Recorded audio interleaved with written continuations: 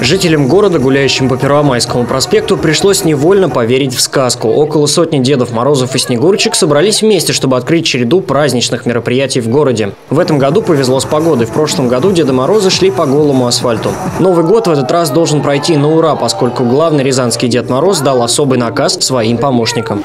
Всем моим братьям Дедом Морозом я дал очень строгий наказ – встретить Новый год достойно – весело и празднично, с хорошим настроением, и чтобы у каждого был огромный мешок подарков для всех рязанцев.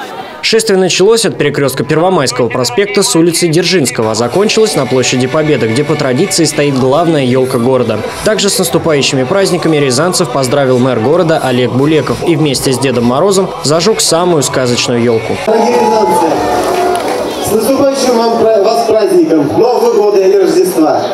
Но какой же Новый год без нашей красивой елки? И сегодня мы вместе с вами здесь, на главной площади города Рязани, для того, чтобы вместе с Дедом Морозом, Снегурочкой, зажечь нашу замечательную елку. Ну что, Дед Мороз? Все готовы? Да. А волшебные слова знаете?